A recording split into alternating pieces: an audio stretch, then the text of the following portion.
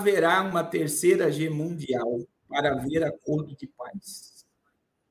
Eles vão tirar a mão do botão antes do caos total.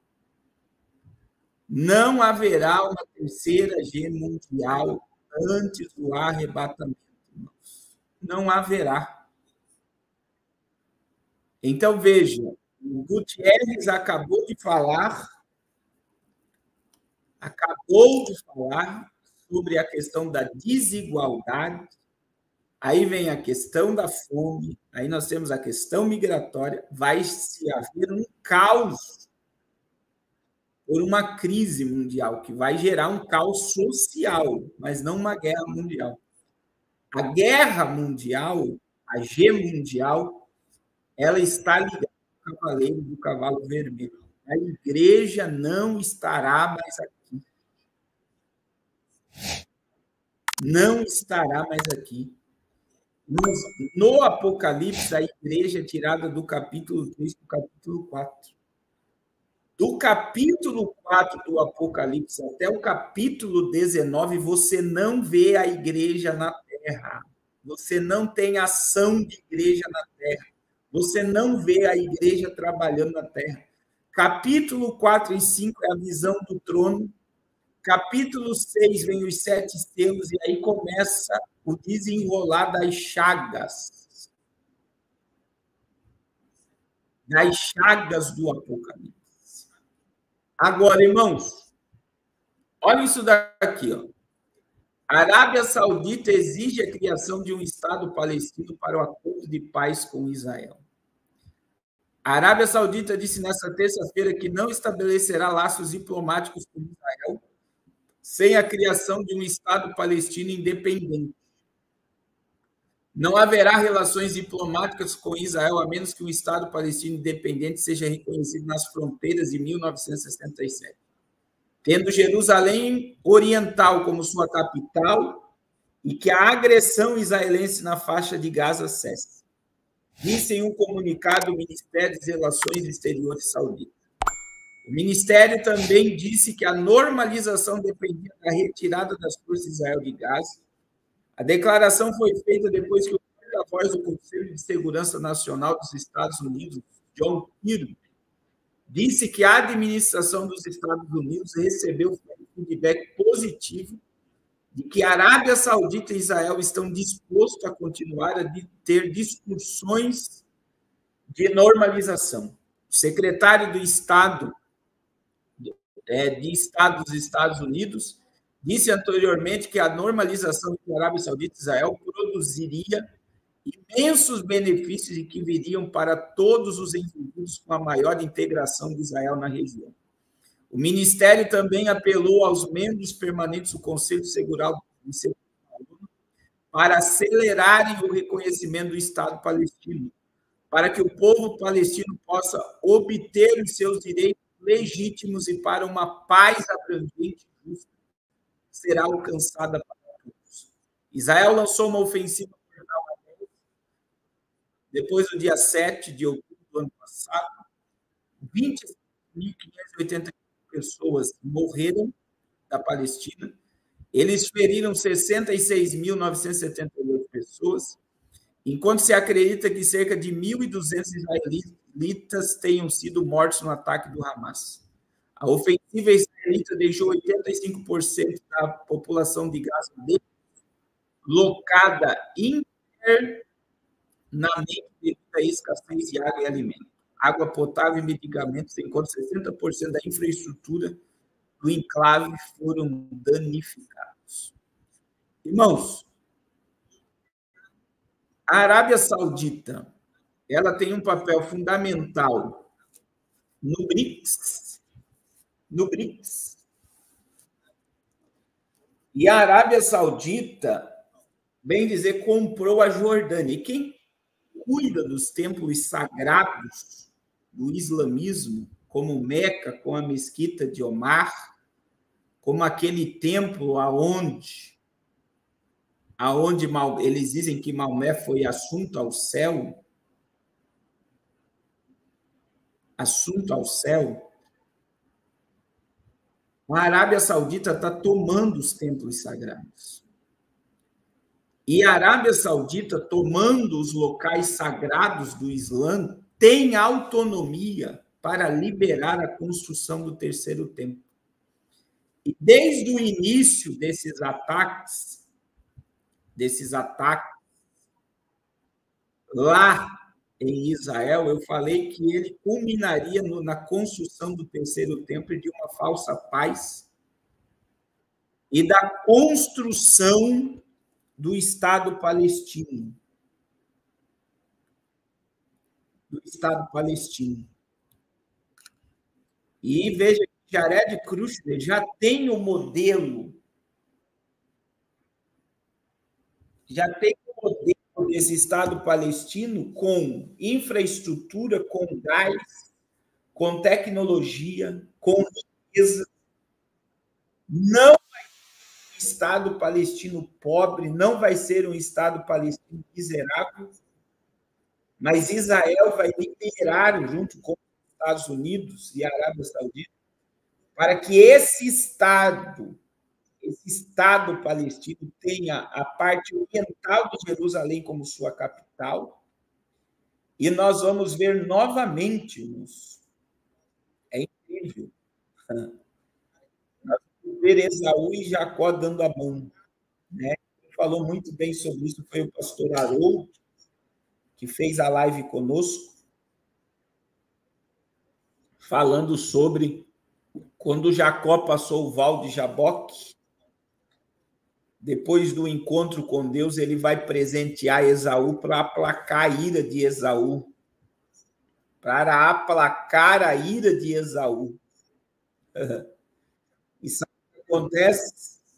Novamente, Israel vai ceder muita coisa para aplacar a ira de seus adversários, mas um acordo, e o acordo é para que o templo de Salomão seja erguido.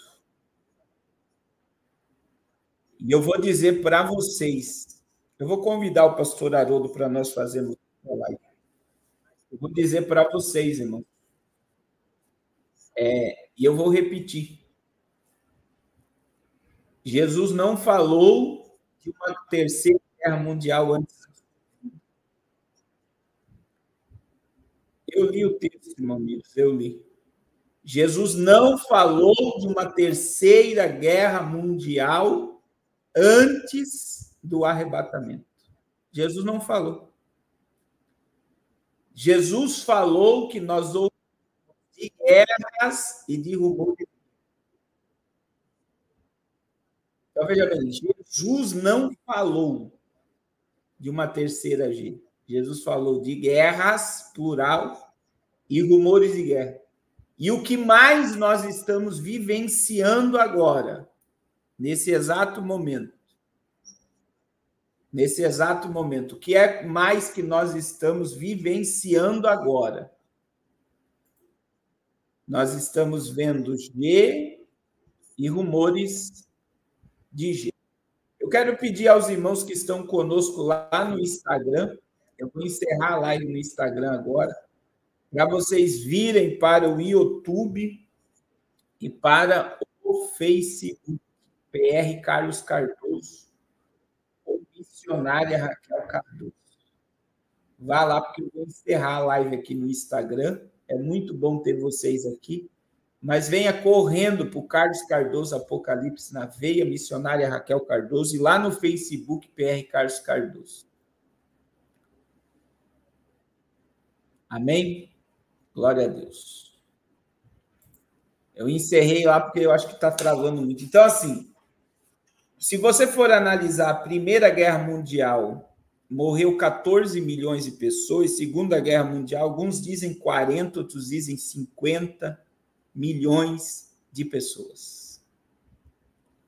Então, nós já tivemos duas G mundial, e eu vou repetir, uma matou 14 milhões de pessoas, a segunda G mundial matou, matou.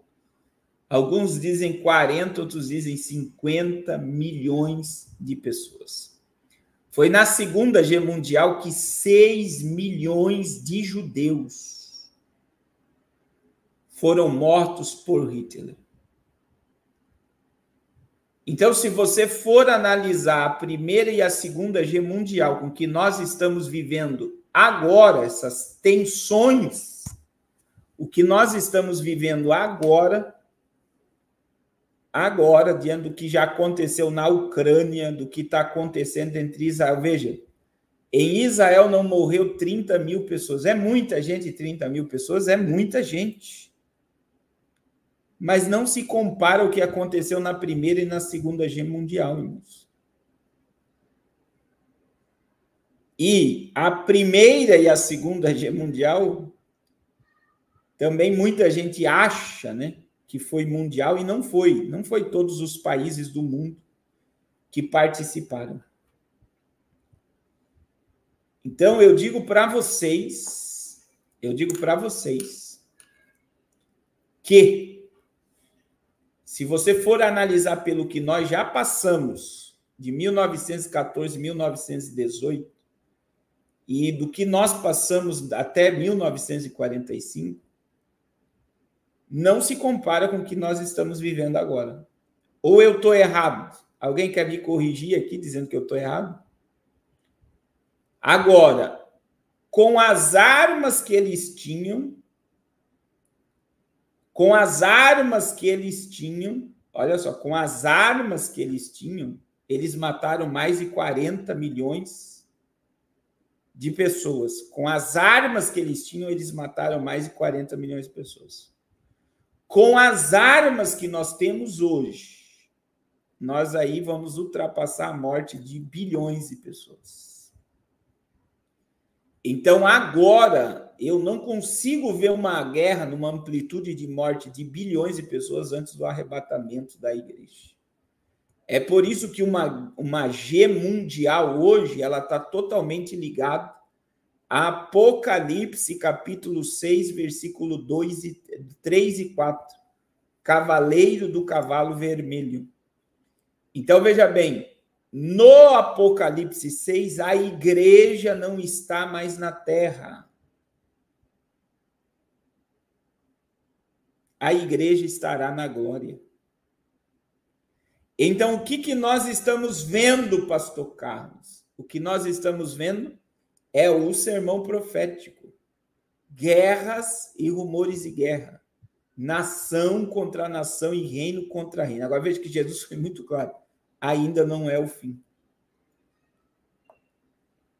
Então, nós estamos vendo o cumprimento da profecia o cumprimento da profecia. É isso que nós estamos vendo. É o cumprimento das profecias. E por que, que eu estou falando isso? Porque tem muita gente achando já que nós vamos viver a terceira G mundial por esses dias e não haverá terceira G mundial por esses dias. Não haverá, não haverá. Não haverá. Não haverá. Terceira G mundial por esses dias. E eu estou falando pela palavra de Deus. Agora, uma crise mundial que vai gerar um caos social, nós teremos que vai trazer o, soli, o, aquele que vai solucionar, solucionar o caos social, que vai trazer soluções para a crise financeira,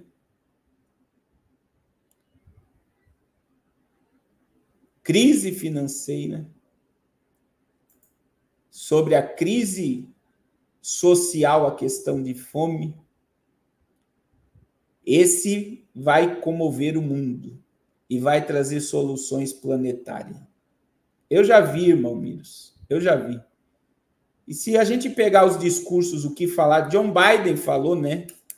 Sobre o Apocalipse. Vladimir Putin já falou sobre o Apocalipse. Eles já falaram até sobre os quatro cavaleiros do Apocalipse. Eles têm os aviões do juízo final.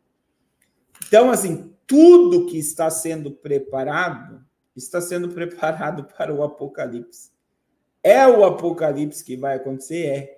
Mas a igreja estará na glória. A igreja estará na glória. A igreja estará na glória. A igreja estará na glória. Em nome de Jesus. Pegue essa palavra. Irmãos,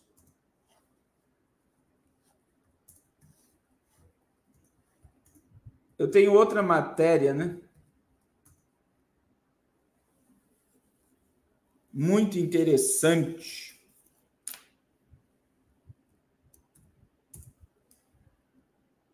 muito interessante, porque eu vou mudar o assunto agora.